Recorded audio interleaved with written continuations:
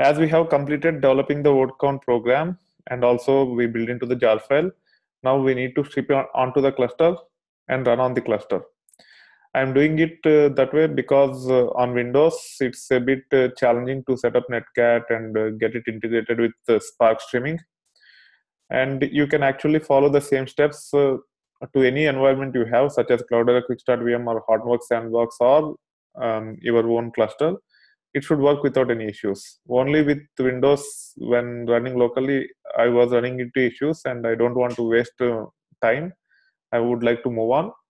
Uh, so as long as you have uh, Cloudera Quickstart VM or Hortonworks Sandbox, and if you are not able to um, get what I'm trying to do here, then we will definitely support you okay so that being said let me open Cygwin here and also before running there is a small change we need to make to the code.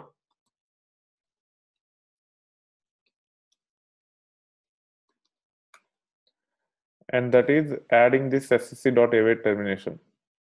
It was not there earlier um, and if you don't add it it will just uh, terminate after one iteration.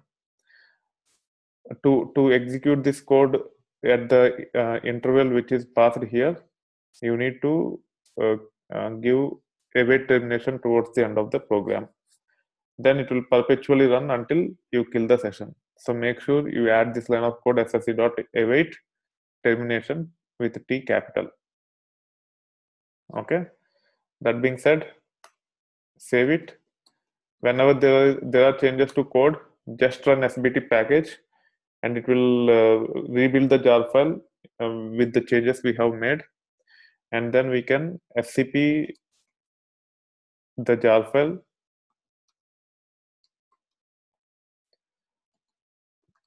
To the gateway of your environment.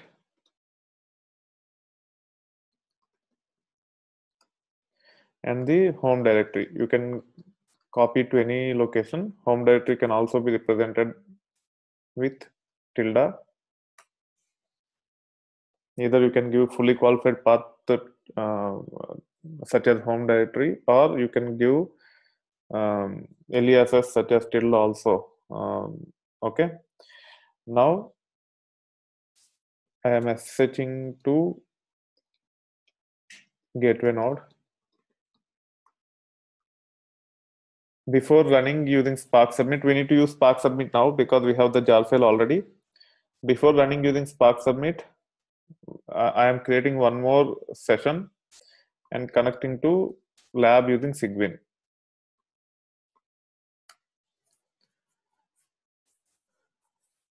So if we have to test Spark streaming, we need we need to have a web service, and uh, web service can be created using nc-lk.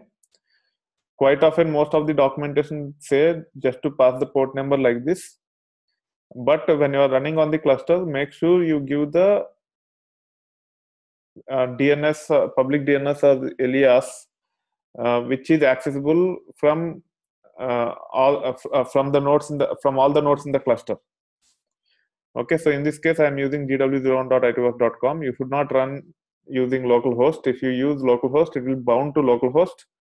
And why when the code is executed to process the data as Spark will execute by using uh, executed tasks, and those executed tasks will be worker nodes, not the gateway node.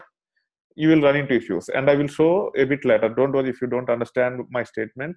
I, I will show you practically.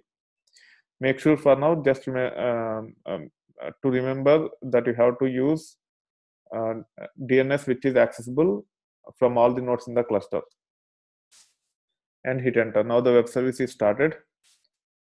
Before running the Spark Submit, you can actually test that you are able to send instructions to the web service by using telnet the uh, IP address and the port number or DNS and the port number and uh, it is working fine so we have to hit control close bracket come out quit now we have to develop Spark Submit. Uh, uh, sorry, not develop, but we need to issue Spark Submit command. to uh, to run this uh, Spark streaming context, which will periodically poll the web service and read the data and process the data.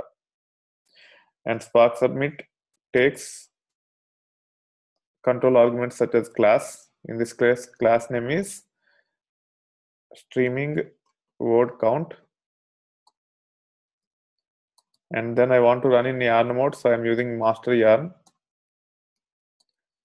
And then conf spark.ui.port equal to a five digit unique number under 65535. After all the control arguments, we have to give the jar file name, which is nothing but retail underscore 2.10 hyphen 1.0 dot jar. And it takes three arguments. The first argument is execution mode, which is nothing but yarn client. And the second argument is um, the, the DNS on which web service is running. In this case, it's gw01.itversity.com and the port number four nines and hit enter. So this is how the Spark submit command will look like. Once it generates the tracking URL like this, let us copy.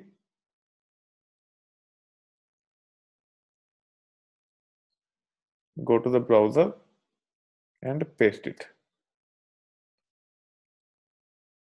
You can go to the executors and you can see that uh, the uh, there are two executors created for this job one on wn02 and other on wn03 when the data uh, is entered into the web service which we are running these have to read the data from that web service and process it. And that web service which we are trying to use is gw01.itversity.com instead of gw01.itversity.com if i mention localhost here it will um, the the tasks which will uh, which will be running as part of these executors will try to connect to a web service using localhost which means some web service on those nodes uh, themselves which is not correct. Our web service is actually running on gw01.itversity.com hence we need to use the appropriate public dns both while uh, uh, starting the web service and also as part of the job. Okay? Now that being said every 10 seconds it is looking for the data. As it is not getting anything it is just uh, uh, passing on and waiting for 10 seconds now i am entering some data. Hello world. Let us test word count. Program to get number of words.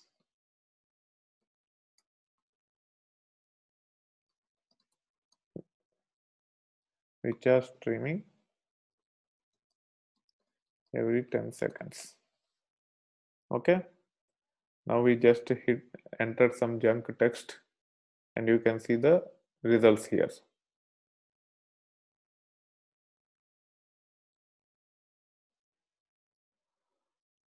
Okay now we will also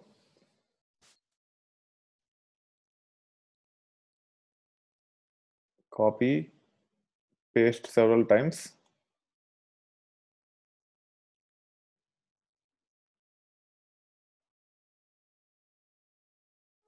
and we will see the output here. You can see here. Within 10 seconds i copied four times. That's why each word is repeated four times.